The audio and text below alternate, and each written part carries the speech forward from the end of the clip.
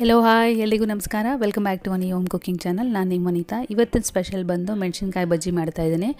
ಈ ಚಳಿಗಾಲಕ್ಕೆ ಬೆಚ್ಚು ಕೂತು ಬಿಸಿ ಬಿಸಿ ಬಜ್ಜಿ ತಿನ್ನೋಗಿರೋಂಥ ಮಜಾನೇ ಸೂಪರು. ಸೊ ಅಂಥ ಸ್ಟ್ರೀಟ್ ಸ್ಟೈಲು ಬಜ್ಜಿನ ಮನೇಲೇ ಈಸಿಯಾಗಿ ಅದೇ ಟೇಸ್ಟಲ್ಲಿ ಹೊರಗಡೆ ಕ್ರಿಸ್ಪಿಯಾಗಿ ಒಳಗಡೆ ಸಾಫ್ಟಾಗಿ ಹೇಗೆ ಮಾಡೋದು ಅಂತ ತಿಳಿಸ್ಕೊಡ್ತಾ ಇದ್ದೀನಿ. ಇದಕ್ಕೆ ಒಂದು ಕಪ್ ಆಗೋಷ್ಟು ನಾನು ಕಡಲೆ ಹಿಟ್ಟನ್ನ ತಗೊಂಡಿದ್ದೀನಿ. ಇದಕ್ಕೆ ಒಂದು ಎರಡು ಟೇಬಲ್ ಸ್ಪೂನ್ ಆಗುವಷ್ಟು ಅಕ್ಕಿ ಹಿಟ್ಟು ತೊಗೊಂಡಿದ್ದೀನಿ. ಜಾಸ್ತಿ ತೊಗೊಳಕ್ಕೆ ಹೋಗ್ಬಿಡಿ, ತುಂಬ ಕ್ರಿಸ್ಪಿ ಆಗಿಬಿಡುತ್ತೆ. ಇದನ್ನೆಲ್ಲ ಜರಡಿ ಇಟ್ಕೊಳ್ಳೋಣ. ಗೂಡು ಅಥವಾ ಗಂಟು ಏನಾದ್ರು ಇದ್ದರೆ ಸಿಗುತ್ತೆ. ನಾನು ಹೇಳೋ ಪ್ರೊಸೆಸಲ್ಲಿ ಮಾಡಿ ನೋಡಿ, ಹೊರಗಡೆ ಕ್ರಿಸ್ಪಿಯಾಗಿ ಒಳಗಡೆ ಸಾಫ್ಟಾಗಿ ತುಂಬ ಚೆನ್ನಾಗಿರುತ್ತೆ ಬಜ್ಜಿಗಳು.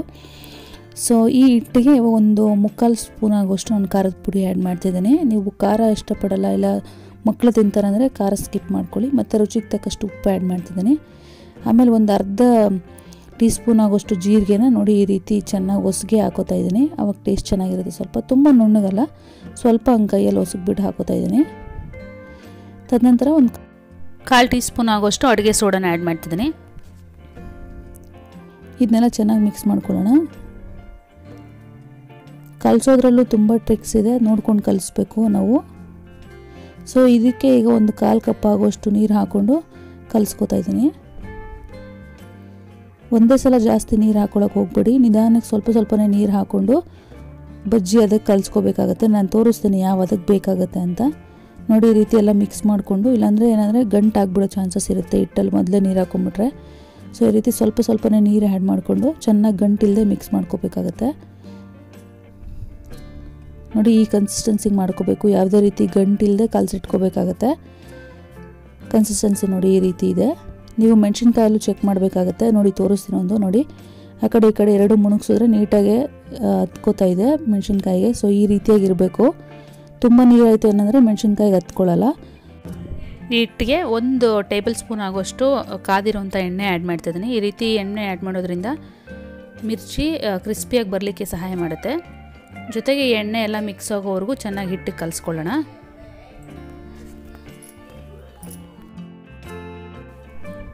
ಬೋಂಡ ಮೆಣಸಿನ್ಕಾಯಿನೇ ನೋಡಿ ಎರಡು ಅಥವಾ ಮೂರು ಹೋಳು ಮಾಡ್ಕೊಂಡಿದ್ದೀನಿ. ತುಂಬ ದೊಡ್ಡದಿದ್ರೆ ಮೂರು ಮಾಡ್ಕೊಂಡಿದ್ದೀನಿ, ಇಲ್ಲಾಂದರೆ ಎರಡು ಮಾಡ್ಕೊಂಡಿದ್ದೀನಿ. ಈಗ ಹೇಗೆ ಹಾಕೋದು ಅಂದರೆ ನೋಡಿ ಹಿಂದೆ ಮತ್ತು ಮುಂದೆ ಎರಡು ಈ ರೀತಿ ಮುಣುಗಿಸಿ ತೊಗೋಬೇಕಾಗತ್ತೆ. ಈಸಿಯಾಗಿ ಬಿಡ್ಲಿಕ್ಕೆ ಅವಾಗ ಬರುತ್ತೆ. ತುಂಬ ಕಷ್ಟ ಅನಿಸಲ್ಲ ಮಾಡಲಿಕ್ಕೆ. ಚೆನ್ನಾಗಿ ಕಾದಿರೋವಂಥ ಎಣ್ಣೆಲೇ ಬಜ್ಜಿನ ಬಿಡಬೇಕಾಗತ್ತೆ. ಆವಾಗಲೇ ಪಾತ್ರೆಗೆ ಅಂಟ್ಕೊಳ್ದೆ ಮೇಲೆ ಬರುತ್ತೆ ನೋಡಿ ಈ ರೀತಿಯಾಗಿ. ಒಂದು ವೇಳೆ ಪಾತ್ರೆಗೆ ಅಂಟ್ಕೊಂಡ್ಬಿಟ್ರೆ ಅದು ಬಿಡೋವರೆಗೂ ನೀವು ವೆಯ್ಟ್ ಮಾಡಬೇಕಾಗತ್ತೆ. ಸೊ ನೀವು ಬಜ್ಜಿ ಬಿಡಬೇಕಾದ್ರೆ ಲೋ ಫ್ಲೇಮಲ್ಲಿ ಇಟ್ಕೊಂಡೇ ಮಾಡ್ಕೊಳ್ಳಿ.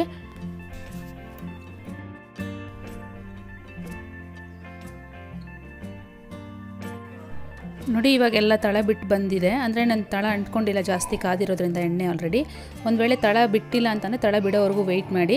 ತಳ ಬಿಟ್ಟಾದ ನಂತರ ತಿರುಗಿಸ್ಕೊತ ಈ ರೀತಿಯಾಗಿ high flame to medium flame adjust ಮಾಡ್ಕೊಂಡು ಮಾಡಬೇಕು. ಈ ರೀತಿ ತಳ ಬಿಟ್ಟಾದಮೇಲೆ ಲೋ ಫ್ಲೇಮಲ್ಲೇ ಮಾಡಿಕೊಂಡ್ರೆ ಎಣ್ಣೆ ಜಾಸ್ತಿ ಹೀರ್ಕೊಳ್ಳೋ ಚಾನ್ಸಸ್ ಇರುತ್ತೆ. ಸೊ ಹಾಗಾಗಿ high to medium flame adjust ಮಾಡಿಕೊಂಡು ಈ ರೀತಿ ಗೋಲ್ಡನ್ ಕಲರ್ ಬರೋವರೆಗೂ ಬೇಯಿಸ್ಕೋಬೇಕಾಗತ್ತೆ ನೋಡಿ. ಎಷ್ಟು ಚೆನ್ನಾಗಿ ಗೋಲ್ಡನ್ ಕಲರ್ ಬಂದಿದೆ. ತುಂಬ ಬೇಯಿಸ್ಕೊಳ್ಳೋಕೆ ಹೋಗ್ಬಿಡಿ. ಸೀದೋಗಿರೋಂಥ ವಾಸನೆ ಬರ್ತಾ ಇರುತ್ತೆ ತಿನ್ನೋವಾಗ. ಸೊ ಇಷ್ಟು ಕಲರ್ ಬಂದರೆ ಸಾಕಾಗತ್ತೆ. ಎಣ್ಣೆ ಕೂಡ ಜಾಸ್ತಿ ಇದ್ಕೊಂಡಿಲ್ಲ ನೋಡಿ, ಕಾಣಿಸ್ತಿದೆ.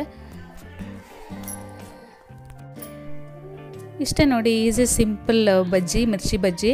ನಿಮಗೆ ಖಂಡಿತ ಇಷ್ಟ ಆಗುತ್ತೆ. ಈ ಚಳಿಗಾಲಕ್ಕಂತೂ ಒಳ್ಳೆ ಸ್ನ್ಯಾಕ್ಸ್ ತಿನ್ನಲಿಕ್ಕೆ ಸೊ ನೋಡಿ ಎಷ್ಟು ಚೆನ್ನಾಗಿ ಬಂದಿದೆ. ರೌಂಡ್ ರೌಂಡಿಗಿದೆ ನಾರ್ಮಲಾಗಿ ಎಸ್ಟೇಟ್ ಸ್ಟೈಲಲ್ಲಿ ಮಾಡ್ತಾರಲ್ಲ, ಅದೇ ಥರ ಇದೆ.